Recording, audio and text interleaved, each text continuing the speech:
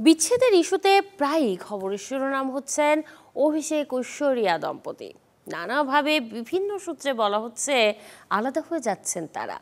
বিশেষ করে সম্প্রতি এক অ্যাওয়ার্ড অনুষ্ঠানে মেয়ে আরাধ্যকে নিয়ে দুবাই গিয়েছিলেন ঐশ্বরিয়া। সেখানে হাতে বিয়ের আংটি দেখা না যাওয়ায় বিচ্ছেদ গুঞ্জনে আগুনে ঘি পড়েছিল। তবে প্যারিস ফ্যাশন উইকে সে আগুনে পানি ঢেলে দিলেন অভিনেত্রী। ঐশ্বরিয়ার আঙ্গুলে দেখা গিয়েছে অভিষেকের পরানো সেই বিয়ের আংটিটি। প্যারিস ফ্যাশন উইকে বোল্ড রেড লিপস্টিকে হাজির হন তিনি।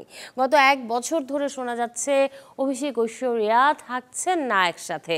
বিভিন্ন ইভেন্টেও আলাদাই দেখা যাচ্ছে তাদের।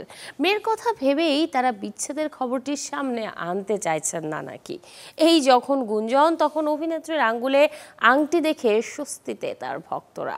দু হাজার সাত সালে অভিষেক ও ঐশ্বরিয়ার বিয়ে হয়। দু হাজার এগারো সালের ষোলো নভেম্বর তাদের ঘরে আসে মেয়ে আরাধ্য।